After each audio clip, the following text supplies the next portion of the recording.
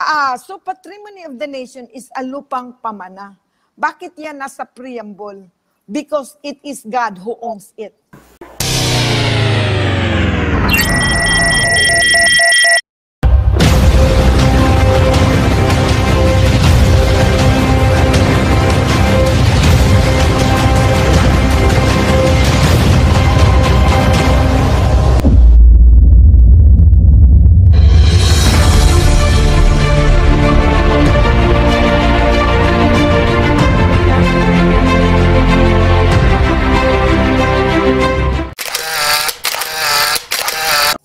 At atin nang ipakilala, hindi na natin kailangan pang pakilala pa ng marami to. Dahil ito po'y kilala na dito sa Wealth of the Nations program. Yan po'y walang iba kundi si Her Majesty Queen Salvacion Yes. Licambi. Magandang gabi po sa inyo. Hi, magandang gabi po sa inyo, Canton. Apo. At sa mga listeners, magandang gabi po sa inyong lahat. At andito na naman tayo, magpapa, ah, papaliwanag, magbibigay tayo ng mga information na kailangan sa ating mga kabayan. Magandang gabi sa inyong lahat. Your Majesty. Yes. Okay. Now, ah, kaya ko po kayo ni-request na mag-guest ngayon dahil gusto ko pa namin, mal- ako mismo, gusto ko maliwanagan tungkol po dyan sa IPRA law. In brief, briefly, darin niyo pa ba akong bigyan, bigyan kami ng idea, ano po ba itong IPRA law? Yung EPRA law is actually a United Nations declaration of indigenous rights. So, very important uh, enacted law na sa Pilipinas lang ito na ibigay, na nagiging, na-ratify ito ng Congress. Itong 81 dahil dito lalabas ang primary government sovereignty. So there's only one government once the government is already provided, given by the commissioned agency under National Commission of Indigenous Peoples' Right Act na na-approve ito, na-ratify noong 1997. Ang mission and vision of EPRA 8371 is to seek sovereignty. Lalabas ang may-ari sa lupa, time immemorial, na nandyan nakalagay sa section 56 sa definition sa section 56 is as far back memory reaches, time immemorial, kung sino yung nakahawak ng titulo. Eh, ang titulo na pinag-usapan natin dito ay yung Treaty of Paris na nandyan sa ating Constitution 1935 na iyan ang nagiging original Constitution that was ratified in Congress in 1935 but it was promulgated in 1946. Yes, Okay. Kaanton. Iyan ang EPRA 8371. Mhm.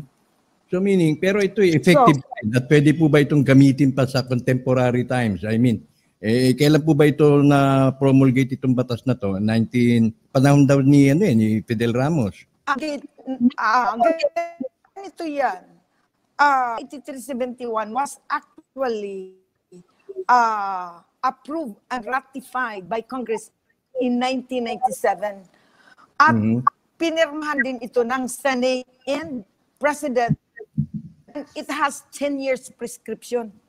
After 10 years prescription, pag hindi ito na-prescribe, itong ah, ratification ng treaty na ito, malaking problema ang Pilipinas. Somehow, ah, we are actually facing in the in the end times. Ito talaga lahat mangyayari ng mangyayari.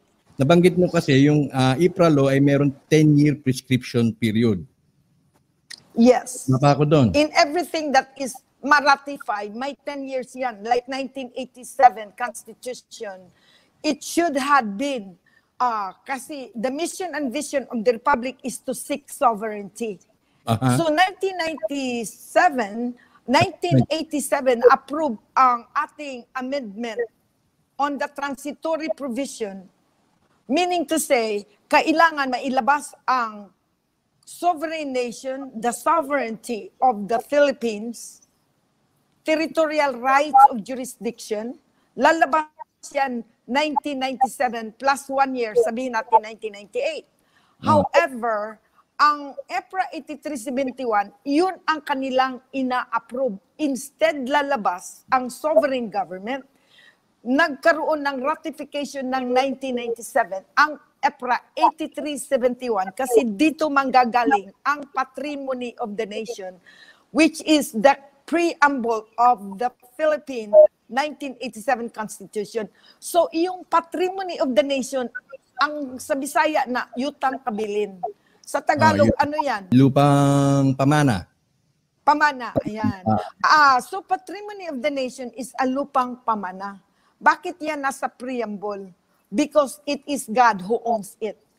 It is God, the creator, who owns the land, who owns everything, you and me and everything. God owns it. Iyan ang ibig sabihin ng ating preamble. We, the sovereign Filipino people. Yeah. So, Ah, imploring we are, so. Philippines, yes. So we Filipino people supposed to be a sovereign citizens. We belong to a sovereign, a royal kingdom. Because the Okay. Philippines, lupang hinirang, is actually the promise of the Almighty na in the end time, lalabas ang kanyang kaharian, kingdom. Okay, pero ah pero within ma- within that period ng ma-promo ma ano tong IPRA law, may, may 10-year prescription time, ginawa naman Yes. corporate Philippines. So, So- nagkaroon So, ng transition. ang, corporate- ganito ha. So, meron yung milestone. Let's let's check the milestone Okay. of our government. Let's limit our understanding dun sa 10-year prescription time na yun kasi I, don't- I want to to understand ano ba ang dapat nun naganap na naganap Yeah. at yung mga hindi Okay. naganap at yan ba'y paso na after 10 years yung pagka-prescription time na yan? Ah, Yes. Na-ratify ang EPRA 8371, Indigenous Peoples' Rights Act. That was actually awarded to a commissioned agency, NCIP. So, NCIP is a commissioned agency. Ahinsya lang po sila, hindi sila gobyerno. So, the NCIP was appointed by the Republic of the Philippine Corporation to seek sovereignty.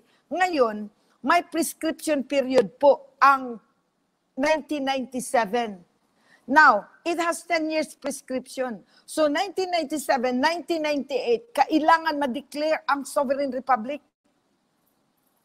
The lost paradise, meaning the lost owner, lalabas, na lalabas ang lost owner.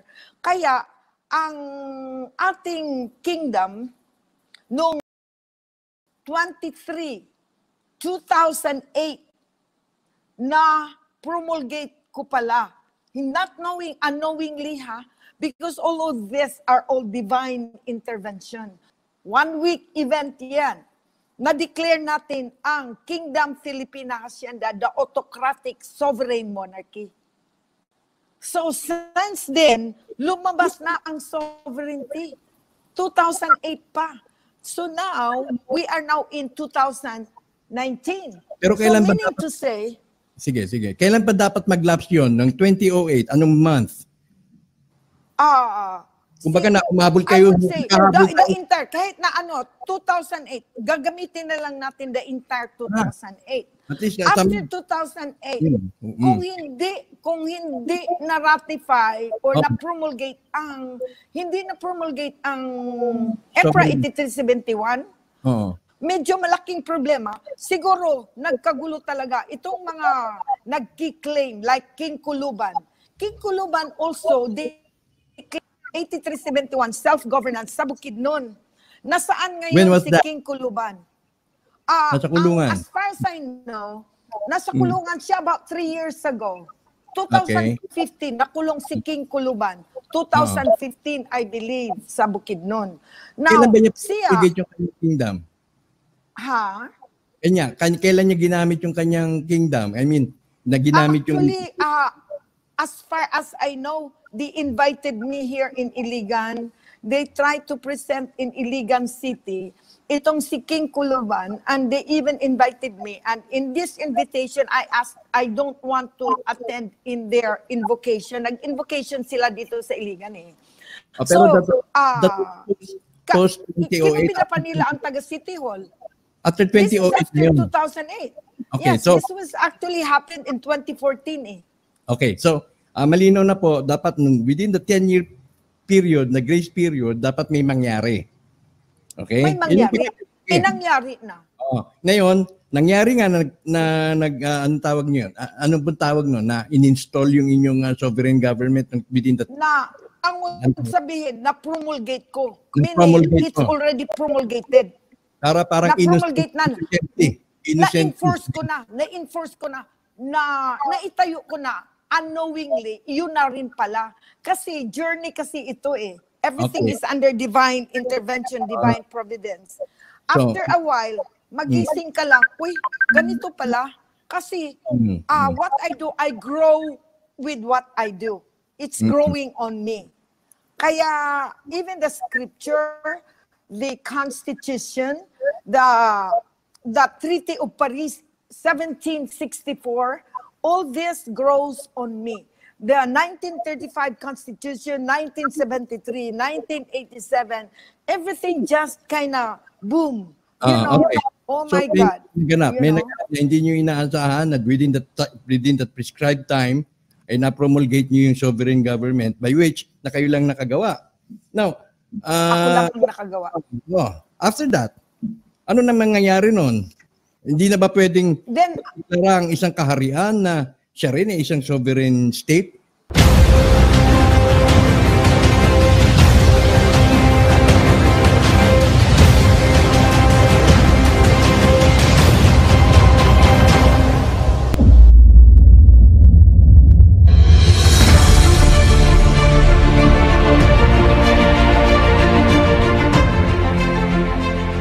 Maraming maraming maraming salamat po sa walang sawang pagtangkilik at pagsuporta sa The Filipino Times featuring the Divine Legitimate Government, Kingdom Philippine Hacienda, the Sovereign Host Nation. Kami po ay lubos na nagpapasalamat sa walang sawang pagsubaybay sa aming mga programa sa pagsiwalat ng katotohanan. Now po tayo po ay magkaisa para po sa isang layunin upang maitaguyod ang inang bayan bilang isang makatao, makajos, makabansa at makakalikasan, malaya at nagkakaisa. Maraming salamat po.